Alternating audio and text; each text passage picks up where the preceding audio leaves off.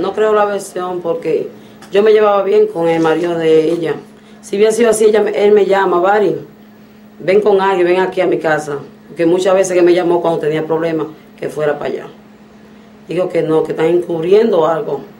Porque mi hija y mi marido y todos mis familiares fueron y no la volvimos a ver ni viva ni muerta a mi hija. La última vez que la vi fue el martes, donde ella estaba feliz con nosotros. Y sobre eso que dijo Rosa Gómez, que yo di que le envió un mensaje a su marido diciendo que se iba a quitar la vida. No, eso tienen que enseñárnoslo a nosotros, nosotros creerlo. Porque mi hija estaba contenta el día que nosotros fuimos y habló con su hija a las 12 de la- del día, le puso un mensaje bonito que le había hecho su compra a su hija. Y sobre ese supuesto texto que sale, ella di que escribiéndole que se iba a matar. No, a mi hija la había matado antes. Eso fue él con el teléfono de ella. Porque yo le puse mensaje después que mi hermano me llama de Nueva York. ¿Qué pasa con Michelle? Yo le con mi, sí, Lázaro, mi hermano Guzmán.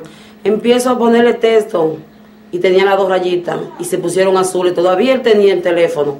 Cuando yo comencé a tirarle a mi hija de ese viernes. Otra pregunta, eh, con relación a eso que dijo Rosa, que él primeramente dijo que amaneció con ella en la, en la, en la casa, que se levantó, que no la vio, y luego cambió la versión, dijo que no, que no amaneció ahí, que él dijo eso en principio de que porque se puso nervioso. A mí lo que me da pena con esa señora que con esa edad sea tan vagamundo y sinvergüenza y no tiene hijo. No quisiera ni topetármela, ¿eh? No, no, porque eso fue lo que él supuestamente le dijo a ella. No, ella es una vagamunda, la está encubriendo. Esa señora se ve seria, pero una charlatana. ¿Por qué usted dice eso? ¿Tú sabes por qué? Porque estoy dolida porque ella dice que ella no entró a la casa y tengo el video de mi hija donde ella está ya metida. La llave ¿Para de qué la... hora? Porque ella primeramente ella dice que fue con la policía, Fue que ella no fue, que ella, que ella no fue sin la policía. Los chicos fueron temprano, ellos tenían todo arreglado para que aparentara. ¿A qué hora le dijeron a usted que Rosa entró ahí? que ella había ido temprano con Henry, como a limpiar la escena del crimen. Eso mismo, me dijeron. Entonces yo quiero ver a Rosa frente a frente y preguntarle si tiene hija. Se le había pasado el caso de mi hija, ¿qué había hecho ella? Que no sea tan sinvergüenza. ella dice que cuando Henry le dijo que eh, su mujer estaba muerta, que ella no, eh, no entró a la casa, sino que ella llamó a la fiscal y le dijo, quédate ahí, porque te van a detener, te, te van a investigar. Que ella dice que nunca entró ahí, que ella entró fue con la policía cuando lo entregó, cuando cogieron para allá, para Mada 2, a eso de las 11 de la mañana. Pacheco, lo primero que Henry tenía que hacer era llamarme a mí, llamar a la policía y él decir, yo no sé cómo pasó eso. Si no amaneció, decir, Bari, entré ahora mismo, no, la encontré muerta. ¿Es, Sí. es cierto que Henry la maltrataba ahí? Muchas veces me le dio martillazo, vino aruñada, yo la buscaba y ella se volvía ahí porque él la- era, e- e- era lo que eso él, quería, porque mi hija le mandaban un dinero. Cada vez que ella abría su boca le mandaban de mil euros y lo gozaba él, envenenándola con nosotros. Decía que yo no la quería, que no la- ella no tenía familia, que solamente era él y su O sea, niña. el dinero que usted le mandaba, ella, ella lo Yo no, yo no viajo. Ella tenía su pareja para allá afuera. Que ¿Tenía otro? Sí, Y le mandaba dinero. sí. Es cierto que ella tenía pensado viajar este lunes. Eh, No tengo fecha, pero ella me dijo que se iba. Ella, yo le preguntaba cada rato, ¿compraste el vuelo? Sí, mami.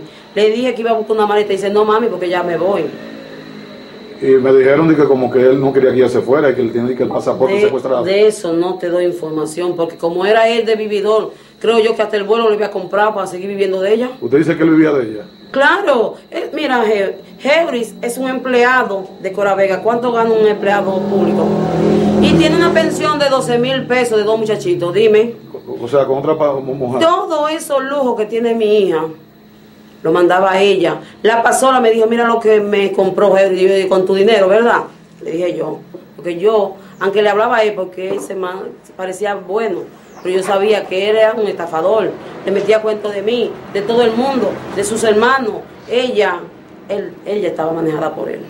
¿Usted cree que otra persona utilizó su teléfono para hacer un texto haciendo creer que fue su hija que lo hizo? Tengo por seguro que no fue ella que lo escribió. Por seguro. Y sé que con él participó otra persona que lo voy a decir con a pasar del tiempo. ¿Usted sospecha que hay otra persona envuelta en eso? Sí, hay otra mujer que me la hacía sufrir mucho, poniéndole mensajes. Y, y él la llevaba militarmente, sabiendo que la casa la pagaba mi hija. ¿Esa casa la pagaba su La pagaba mi hija. Me dijo ella, mami, yo le pregunté a Henry, ¿tú no vas a pagar la casa? Mami, me dio una patada. Yo, ¿qué tú haces con ese bicuita ahí? Sácalo y ven para mi casa. Je- Oye, lo busqué apartamento para acá. Le busqué una casa y siempre buscaba pretexto porque él la manejaba. Yo me la traía para acá y ella pasaba el- el día entero allí con él, con él. Él nunca tuvo interés de mudarse para acá cerca. Él le prohibió que viviera cerca de mí. Sabía que yo lo iba a tener controlado. Entonces, eh, usted dice, ¿usted cree que su hija se ahorcó, sí o no? No, mi hija me la mataron, pero no fue ahorcada. Mi hija tenía hora de muerte porque lo único que pude ver de mi hija después del martes fue la sábana donde la roparon. ¿Cómo te califica la acción de las autoridades, tanto del, de- del fiscal que estaba ahí, Fernán, homologando eh, de no eh, permitir a los familiares que entraran, ni siquiera ver el cadáver después que hicieron sus investigaciones? Pacheco está manejando mal. Hay algo por debajo de la mesa. Porque esa gente creen que no tienen hijos, no tienen familia. No sabe el sufrimiento ocasionado por esa gente. Hija muerta, dos hijos huérfanos. El corazón mío destrozado desde mi familia. Finalmente, ¿usted va a proceder para que el INACI de la capital le haga otra autopsia? Mientras vida tenga mi hija, si la mataron, quien la mató va a pagar. Pero si no la, si no la mató, ¿Qué hicieron con Henry? ¿Está preso o lo soldaron? no está preso. Todavía. Está todavía.